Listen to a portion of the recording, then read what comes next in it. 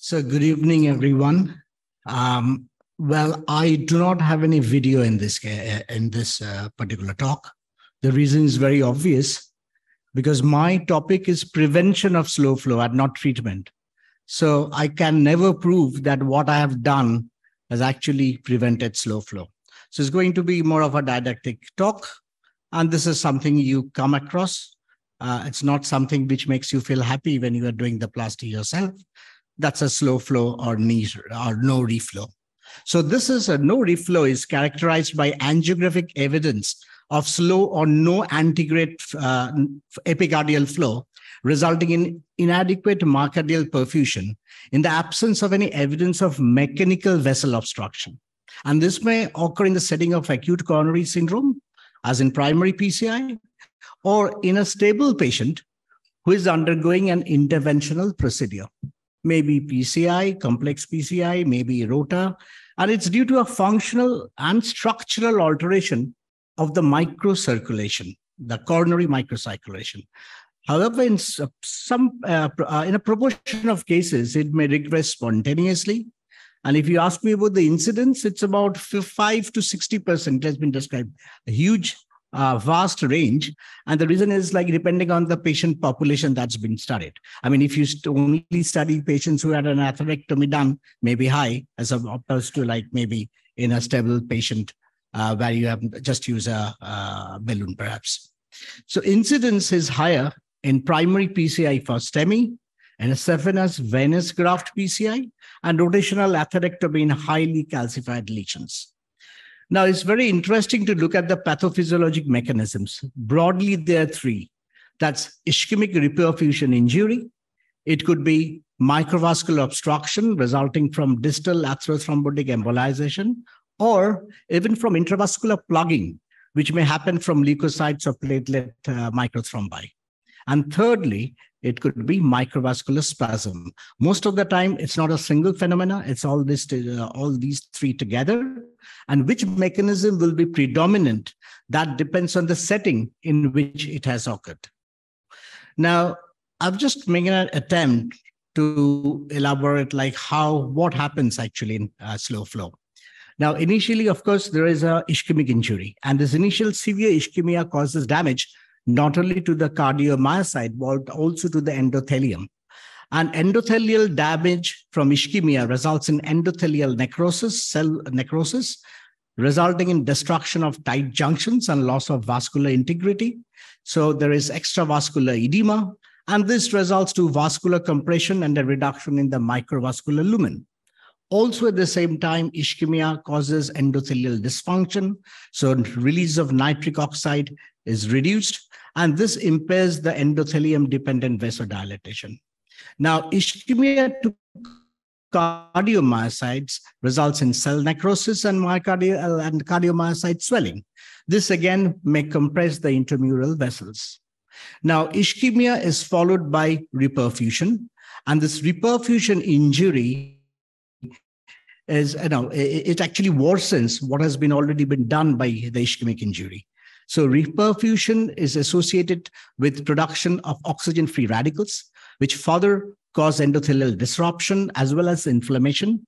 It causes migration of neutrophil and platelets forming microthrombi, which obstructs the lumen of the microvasculature. Also, reperfusion is associated with autonomic dysfunction. And there is intense alpha adrenergic receptor mediated constriction of the coronary vessels, which results in microvascular spasm. And the third is, of course, the distal atherothrombotic embolization, which happens more in a stable PCI setting.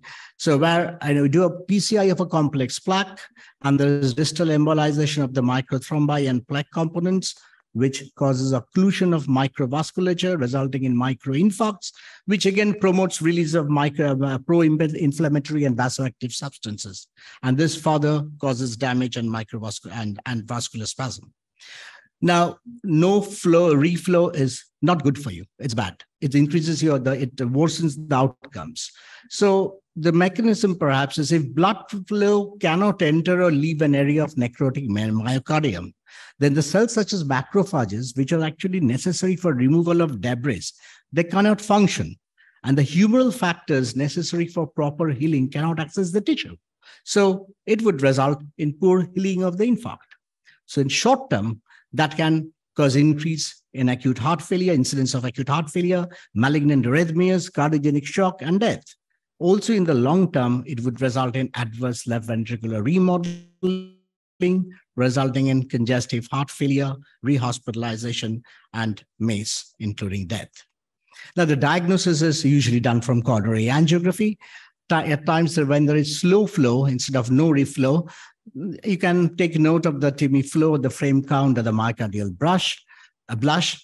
If, say, you have thrombolized the patient and you find the patient's having uh, you know, the ECG, there's no ECG resolution or resolution less than 50% within, say, after 60 to 90 minutes, then you can say, well, it's indicative of no reflow.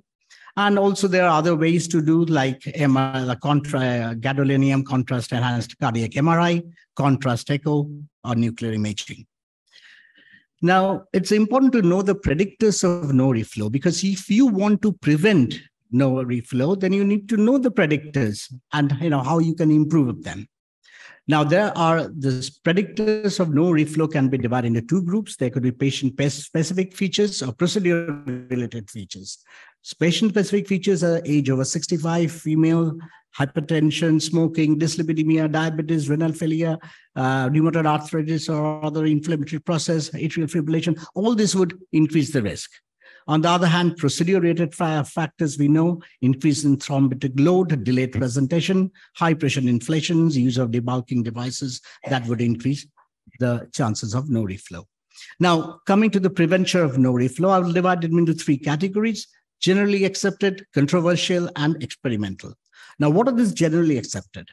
Now, we know that shortened door to balloon time would reduce the incidence of, uh, of no reflow and that is that is because more prolonged ischemia is associated with more microcirculatory damage and therefore development of no reflow phenomena. And also we know like direct stenting in acute MI would cause less embolization of the debris and that would also result in reduced no reflow. And if you avoid high pressure post dilatation uh, with balloon in patients who are at high risk of no reflow, then it's very obvious like there would be less, uh, you know, embolization and less reflow, uh, chances of reflow. And if you're using uh, rota, say, then you always try to use shorter burr runs and lower speeds and avoid decelerations. Uh, you know, if, if you really, you know, especially in high risk patients, patients who are at high risk of uh, no reflow. And in case of saphenous venous grafting PCI, again, which is associated with high incidence of no reflow, it's best to use an embolic protection device. And uh, there's been some evidence to say that pre-treatment with intracoronary vasodilators could be useful in such a situation. Now, also we know like there's some other things, factors like if you have cardiovascular risk factors, and if these are very optimally controlled when the patient is going to have a PCI, then it reduces chances of no reflow. And statin uh, pre-treatment has some evidence, and it showed that although, although it uh, did improve the coronary flow after primary PCI, it actually didn't reduce the MACE. Now, there's some controversial issues. For example, what about intracoronary vasodilators to prevent slow flow, not infringement? Now, the Amistad 1 and 2 has showed that the clinical outcomes uh, in, in patients undergoing primary PCI uh, were not significantly improved with adenosine although the infarct size is reduced. And reflow showed that neither the infarct size nor the microvascular obstruction uh, uh, was reduced by um, intravenous nitroprusside or adenosine. Sorry, in, uh, not intravenous, I would say intracoronary. Now, it's a very interesting topic is that of would like to put in 2B3 uh, uh, inhibitors. Uh, sorry, yeah. Okay, so uh, the On Time 2 study, which was done uh, quite some time ago, is a study which showed that the pre-hospital initiation of bolus tirofiban could result in ST segment resolution and improvement in clinical outcome after primary PCI. But note that such trials were done before actually the potent uh, PY, uh, P2Y12 inhibitors like ticagrelor and prasugrel was available. But the contemporary trials have not demonstrated such a useful effect. However, patients undergoing primary PCI may benefit from it, especially if there is an established no reflow, large thrombus burden, or for bailout um, uh, cases. Now, regarding thrombus aspiration, a meta-analysis has shown, has failed to show the long-term benefit.